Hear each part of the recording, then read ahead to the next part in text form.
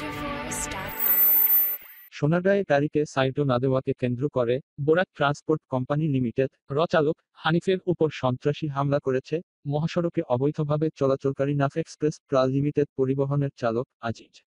মঙ্গলবার সকালে মোগরাপাড়া চৌরাস্তায় হামলার এই ঘটনা ঘটে। এ ঘটনায় বোরাক পরিবহনের চালকরা দুই ঘণ্টা যান চলাচল বন্ধ রেখে বিক্ষোভ করেছে। আহত গাড়ির চালক হানিফ জানান, তিনি বোরাক ট্রান্সপোর্ট কোম্পানি লিমিটেড রো একটি বাস চালক।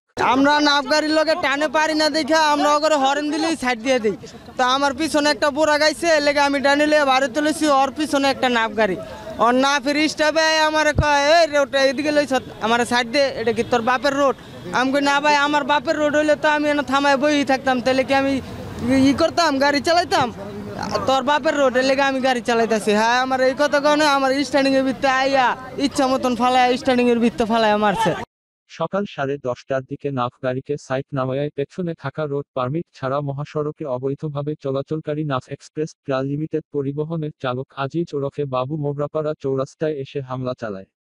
সাইট না দেওয়ায় নাফ পরিবহনের চালক আজিজ ওরফে বাবুর সহযোগীদের নিয়ে তার উপর অতর্কিতভাবে সন্ত্রাসী হামলা চালিয়ে রক্তাক্ত আহত করে, মেরে ফেলার হুমকি দেয়। খবর পেয়ে বোরাক পরিবহনের শ্রমিকরা একত্রিত হতে থাকলে আজিজ পালিয়ে যায়। পরে বোরাক পরিবহনের শ্রমিকরা দুই ঘণ্টা তাদের পরিবহন চলাচল বন্ধ রেখে মহাসড়কের মোগরাপাড়া চৌরাস্তা এলাকায় বিক্ষোভ প্রদর্শন করে। বোরাক পরিবহনের চালকরা জানান জায়গায় বিগত বিশ পঁচিশ বছর যাবৎ এই বোরাক ট্রান্সপোর্ট কোম্পানি দেওয়া যাত্রীদের সুখে দুঃখে হরতাল, মিছিল, মিটিং, অবরোধ কারফুর ভিতরে আমরা যাত্রী সেবা দিয়ে আসতেছি। এই জায়গায় ইদারিং কিছুদিন যাবৎ এই অবৈধ নাবগাড়ি নামে অবৈধ কিছু গাড়ি, যার কোনো কাগজপাতি নাই, রোড পারমিট নাই, এই গাড়িগুলা এই এসপি সাহেবের নাম ভাঙাইয়া, এসপি আখতরুজ্জামান সাহেবের নাম ভাঙাইয়া জোর জবস্তি পাবো। আমাদের এখানে এসে আমাদের স্ট্যান্ড দখল করছে মানে আমাদেরকে প্রতিদিন তারা মারা মারধর করে। আমরা যাত্রী নিতে দিলে তারা আমাদেরকে যাত্রী দেয় না চিরামন গাড়ি বেরিয়ে করতে দেয় না মুরগাবার গাড়ি রাখতে দেয় না।